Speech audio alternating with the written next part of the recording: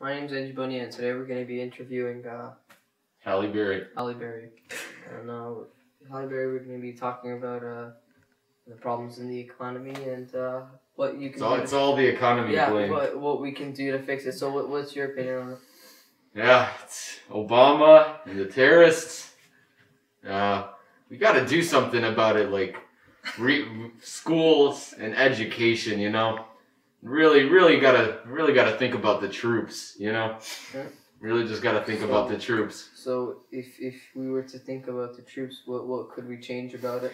Yeah, you know, with the with the troops in regards to that, we're gonna need tanks. Uh, you know, M16s, just just all the basic necessities for the Yeah. troops to really show that we care, show that we care. Because you know what, in this country, we care. You know, that's what we do. But we uh, care. We really, we really care about the economy. The, the thing is, don't don't you think that maybe we're spending too much money on, on troops? Well, you see, with me being Halle Berry, I spend a lot on shoes. You know, and you know, there's kids starving in the world, Yep, yep.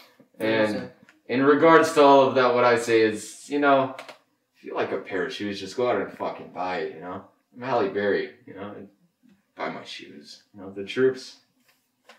They got stuff. They got rations and they got boots and But but the thing is, so so we should stop funding the troops, or we could we should increase it, or we should keep it how it is. What what what do you think? yeah, just just put it all, put it all in. Just go all in. you know? All the money into troops. All in.